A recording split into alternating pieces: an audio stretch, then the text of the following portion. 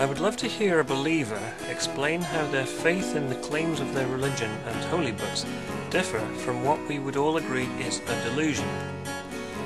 An obvious delusion would be the type of hallucinations experienced by John Nash as portrayed in the film A Beautiful Mind.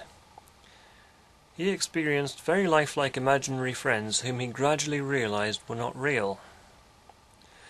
Looking at religious faith as an outsider, it seems impossible to have faith without making the assumption that God and the contents of the holy books are the real deal.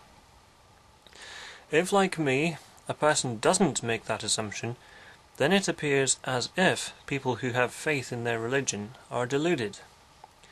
To us it seems as if the holy books were not divinely inspired, but were written by men, perhaps in an attempt to control the behavior of the congregation or maybe to give them comfort in times of trouble. Maybe both. The other possibility is that God really is real. But if that is the case, then I wonder why he has kept himself so well hidden for so long.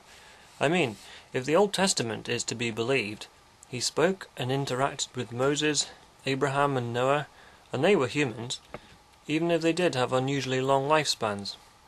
Why did he stop intervening? Another odd thing about faith, which doesn't help an outsider like me to accept it, is the fact that there are so many different and contradictory faiths.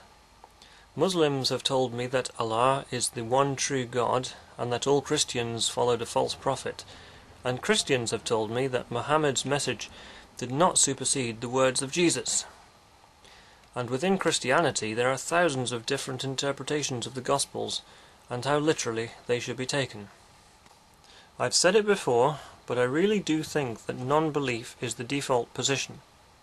If a child were raised in an isolated community and didn't hear any mention of any religion, I cannot imagine that they would grow up having faith in anything other than the people they knew. My point is that religious faith is something imposed upon people usually from an early age, and not something they naturally have.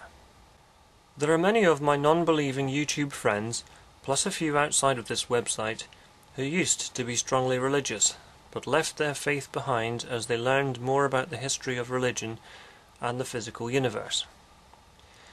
There are some Christians here who say they used to be atheist, but they invariably demonstrate a poor understanding of the physical world they live in which doesn't make their arguments at all convincing to those with more scientific literacy.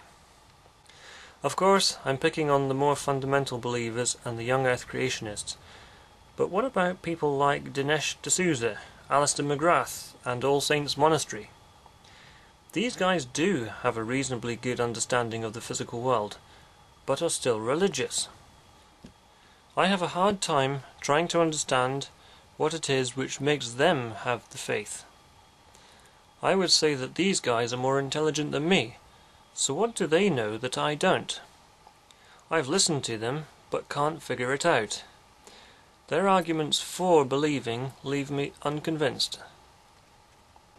I'd be interested to hear your views on whether there is a difference between faith and delusion, and if so, what it is. From where I'm sitting, it seems that those with religious faith are indeed deluded.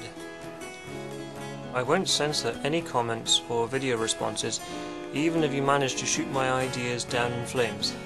So any theists who wish to make their argument here, please do so. Thanks for watching.